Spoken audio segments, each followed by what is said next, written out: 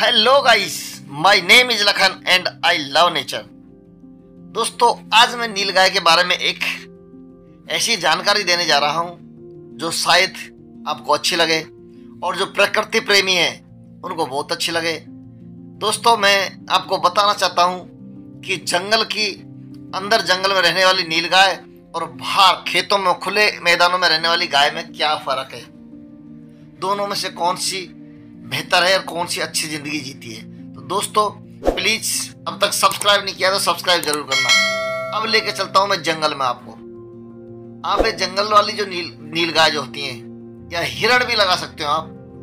इनको देखोगे ये उतनी ज़्यादा क्लीन और परफेक्ट और तंदुरुस्त नहीं होती दोस्तों, जितनी खेतों में रहने वाली होती हैं। अब आपके सामने एक ऐसी नील गाय है जो बिल्कुल ही जंगल के अंदर है।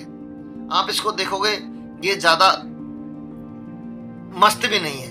अब मैं लेके चलता हूँ खेतों में। अब ये खेतों की नील गाय है, ये बिल्कुल आपको देखोगे, आप देखोगे वैसे खुले मैदानों में रहना पसंद करती है जंगल के बजाय, लेकिन जब किसान भगाते हैं तो जंगल में चली जाती है। आप इनको देखोगे बिल्कुल साफ़ सुथरी, इनके शरीर पर निशान यदि कोई मिलेगा तो आपको मिलेगा, वो फाइट करते हैं ना तो उनके सींगों का जो निशान हो जाता है, बस उसके अलावा कोई निशान इनके शरीर पर आपको नहीं मिलेगा। हाँ छोटी मोटी चोट लग सकती है।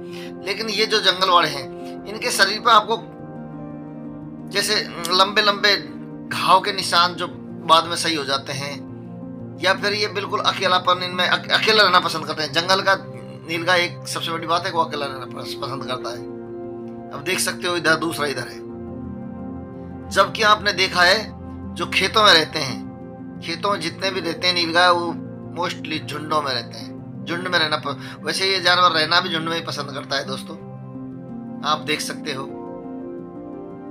अब उसका कारण है कि जो जंगल का जो नीलगाय है, उसके शरीर पर इतने सारे निशान क्यों होते हैं? तो उसका कारण है दोस्तों, जंगल में पेड़ों के साथ तो रहना है, उसको पेड़ों में जाता है हमारे यहाँ झाड़ी जाता है, झाड़ियों से कट फंस जाते हैं, या फिर कुछ जानवर जंगल में छिपके इनके ऊपर आक्रमण कर जाते हैं। क्योंकि ये एक ऐसा जानवर है, ये कुत्ते से भी डर के भग जाता है। यानी पूरे झुंड पर अगर एक कुत्ता आक्रमण करे तो ये उसका सामना करने की बजाय ये तितर वितर हो जाता है। और ये ऐसे वीडियो तो मैंने आपको कितने अपलोड कर रखे हैं कुत्ते इनको बहुत दूर दूर तक दौड़ा रहे हैं, बहुत दूर दूर तक दौड़ा रहे हैं। मेरे चैनल पर जाके देख सकते हो आप कि मैंने ऐसे कम से कम बीस वीडियो डाल रखे होंगे, जिसमें नील गाय को कुत्ता दौड़ा दौड़ा कर घायल करता हुआ है। अब दोस्तों, ये नील गाय का जो वीडियो मैं आपको अपलोड करता हूँ, ये सारे के सारे वीडियो राजस्थान से हैं। बहुत सारे लोगों का क्वेश्चन भी आता है कि यार इतने सारे वीडियो कहाँ से लाते हो? तो दोस्तों, राजस्थान में आपको ऐसा कोई एरिया नहीं है जहाँ आपको नीलगाय नहीं मिलेगी। हर जगह मिल जाएँगी। प्लीज़ दोस्तों वीडियो अच्छा लगा हो तो लाइक और शेयर ज़रूर करना।